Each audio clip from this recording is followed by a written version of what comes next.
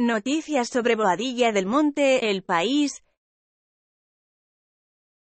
el pasado 6 de mayo, la alcaldesa, perteneciente al Grupo Popular, ordenó la demolición e incendio de una caseta de obras municipal, situada a las afueras del pueblo, donde pernoctaban los citados marroquíes, trabajadores eventuales con certificados de residencia en el pueblo desde hace varios años.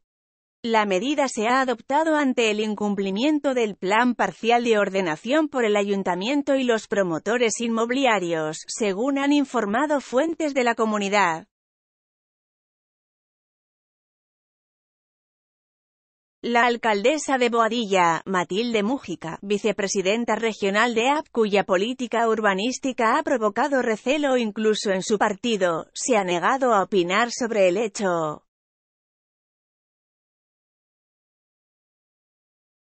En la misma retinión, celebrada el pasado día 29 de enero, también se acordó que un representante de APA asista a las reuniones del grupo municipal como observador y moderador.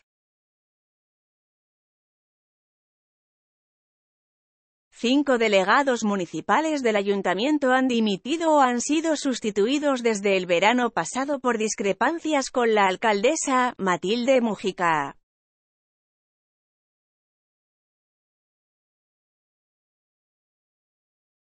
El Grupo Popular, mayoritario en la corporación, ha llegado a la ruptura a causa de las actuaciones urbanísticas de la alcaldesa. Uno de los dos copropietarios del solar de más de 3.000 metros cuadrados que ocupa la casona es Eduardo González Velayos, presidente del Colegio Oficial de Aparejadores de Madrid y exconcejal de UCD en el Ayuntamiento de Madrid. La Guardia Civil había efectuado ayer por la tarde dos detenciones relacionadas con el suceso. La alcaldesa pretendía ratificar la construcción de 1.266 viviendas en uno de los polígonos de expansión del pueblo.